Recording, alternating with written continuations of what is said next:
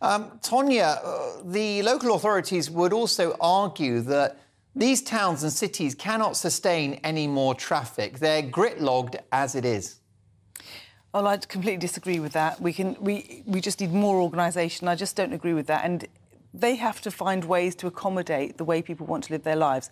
There's a couple of things I want to say. These consultations that they're allegedly having to ask the, the community, bear in mind that these councillors, these MPs, these people work for us. So when they consult with us and everybody, it's like 80% of the people that went to these consultations did not want it and completely ignore it and do as they please. We are now starting to live in a dictatorship. But Chris, there is something you can do.